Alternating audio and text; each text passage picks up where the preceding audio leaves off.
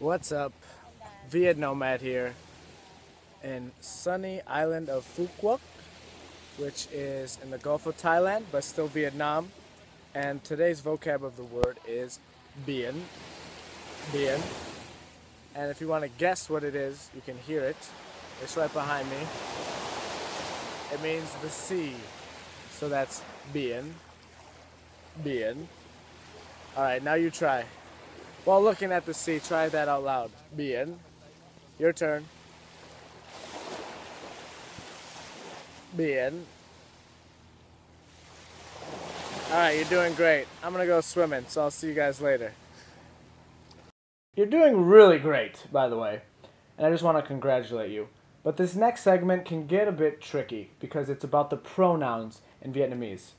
Now, the Vietnamese language doesn't really have a word for you and me or you and I. In fact, it has